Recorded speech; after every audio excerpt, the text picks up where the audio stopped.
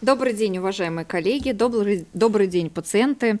А, Татьяна Юрьевна, огромное спасибо, что вы приглашаете. Каждый раз меня не забываете, чтобы пациенты знали не только а, методы, возможности а, лечения, не только методы, возможности профилактики, но и также какие-то организационные моменты, которые происходят в нашем Национальном медицинском исследовательском центре имени профессора Петрова.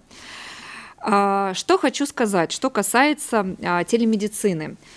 Я очень рада, что в прошлом году мы выполнили 2995 телемедицинских консультаций консилиумов а, с помощью телемедицинских технологий. Мы выполнили более 3500 тестов молекулярно-генетических с помощью референс-центра мы выполнили а, более 1200 а, иммуногистохимических исследований а, с помощью референс-центра и также продолжаем эту работу с нашими пациентами, с представителями пациентов, с медицинскими организациями. Мы не останавливаемся, как работали, так и работаем. Все уже знают, что телемедицинские консультации осуществляются а, с помощью специального портала и никаким образом а, не изымаются средства из бюджета фондов, федеральных фондов ОМС а, регионов. Да? То есть это абсолютно бесплатно и перекрывается это все с федеральными квотами, так можно сказать, да, то есть финансируется сразу же с Минздрава к нам. Что касается референс-центра, если мы говорим о а, связи учреждения с учреждением, то эти расходы перекрываются с помощью а, федеральных средств по ОМС.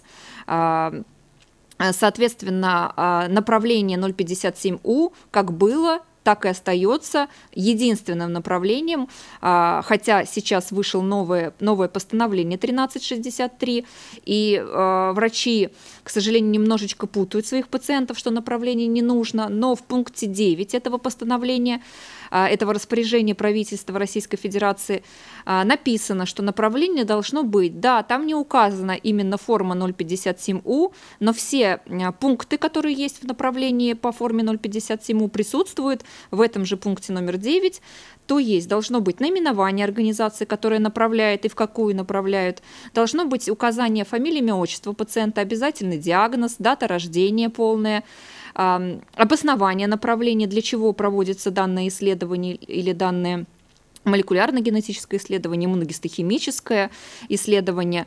А, а, номер страхового полиса по ОМС обязательно должен, э, должно э, стоять в этом направлении. И также должны стоять печати учреждения. Три печати – это обязательное требование к любому амбулаторному направлению, оформленному либо по форме 057У04, которая используется уже с 2002 года, либо в свободной форме, но на фирменном бланке учреждения с тремя пяти, пяти, печатями, извините. В этом году, к счастью для наших пациентов, мы а, начали работать не только а, по ОМС а, в качестве исполнителя молекулярно-генетических, а, патоморфологических или иммуногистохимических исследований, но также в этом году мы начали работать с лучевыми методами исследований. В нашем институте по форме 0 простите, центре, по форме 057У теперь можно выполнить а, исследование КТ и МРТ. Этого раньше не было в нашем центре. А с этого года мы работаем, поэтому любой гражданин Российской Федерации, имеющий на руках данное направление на данные виды исследования, может выполнить эти исследования у нас по форме 057У за счет средств о МС. Это очень важное дополнение, которого раньше у нас не было.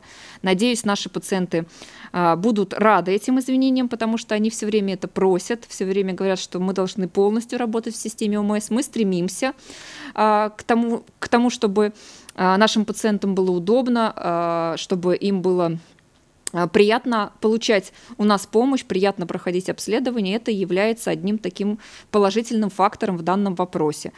Повторюсь еще раз, это не всем-всем-всем-всем-всем пациентам возможно, это можно пациентам только с онкологическим диагнозом. А, код маркировки по МКБ буковка э, С латинская С. А, и э, с кодом диагноза, э, когда необходимо понять, онкологический диагноз или доброкачественное образование, код диагноза Д, буковка D да, D латинское, обязательно должно быть указано по этой э, кодировке. По-другому, к сожалению, если будут написаны какие-то другие буковки латинского алфавита, так, так как мы все-таки являемся онкологическим намецом, мы обязаны использовать только данные маркировки. Вот такие вот у нас новости. Надеюсь, они приятные для вас.